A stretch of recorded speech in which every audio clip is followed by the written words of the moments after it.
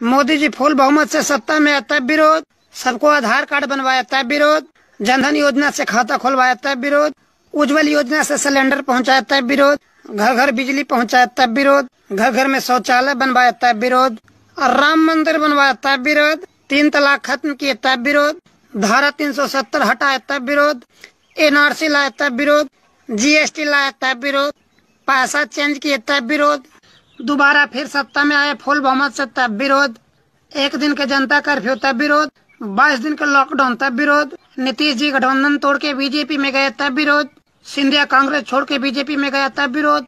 UP में हटा के योगी जी को बैठाया, तब भी विरोध। कोट पहनते हैं, तब भी विरोध। जय श्री राम बोलेंगे, तब भी विरोध। मस्जिद में जाते हैं, तब भी विरोध।